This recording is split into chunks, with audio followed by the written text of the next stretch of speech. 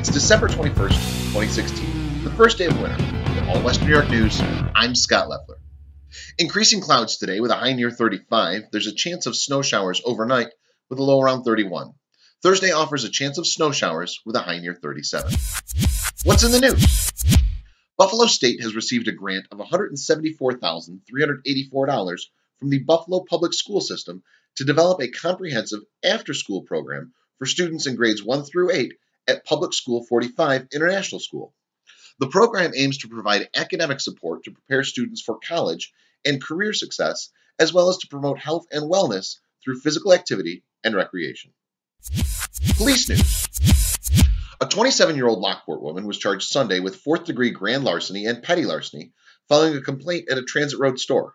Police say surveillance footage showed Brittany Stebline taking a purse from a female shopper who had left it unattended.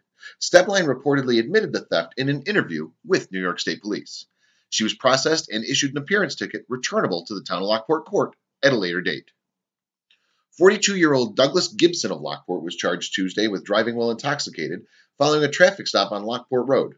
According to police, Gibson was stopped on Lockport Road near Bear Ridge for failing to stop at a stop sign and determined to be intoxicated. He was taken to the trooper's barracks and found to have a 0.16% blood alcohol content. A 67 year old Lockport man was charged Saturday with driving while intoxicated and unlawful possession of marijuana following a traffic stop on Bear Ridge Road. According to New York State Police, Stuart Caswell was stopped on Bear Ridge in the town of Pendleton for failing to stay in his lane. He was determined to be intoxicated and then found to have a 0.12% blood alcohol content after being taken to the Lockport Troopers Barracks. He was also found to have a small quantity of marijuana and a marijuana smoking pipe. Sports.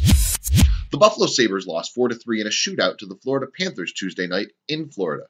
The Sabres had been down 2 0 before scoring three goals to take a 3 2 lead and then giving up the tying goal with less than four minutes in regulation. So a point is better than none. The Sabres next play Thursday when they host Carolina.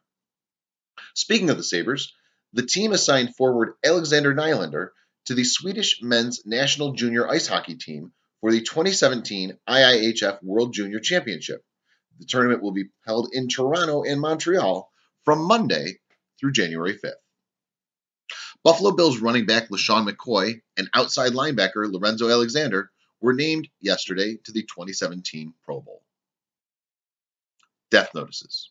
David S. Clifford died December 14th at age 65. Gilberto Lopez died Monday at age 66.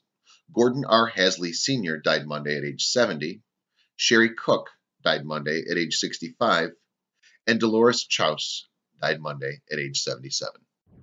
That's what we call the news. For all Western New York news, I'm Scott Leffler. Have a great day.